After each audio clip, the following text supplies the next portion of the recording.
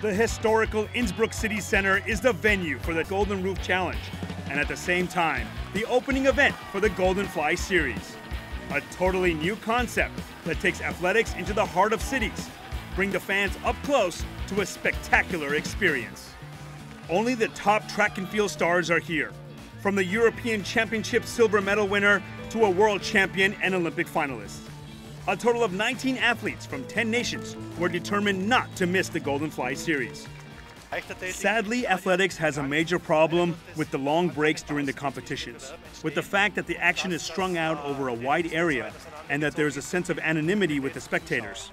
At times, there are 100 meters separating the crowd from the athletes, and we want to get rid of all the obstacles by developing a compact format to transport athletics directly to the spectators and no breaks, which is the reason for the crossfire between the pole vault and the long jump, always alternating so that there's always something happening in the competition site.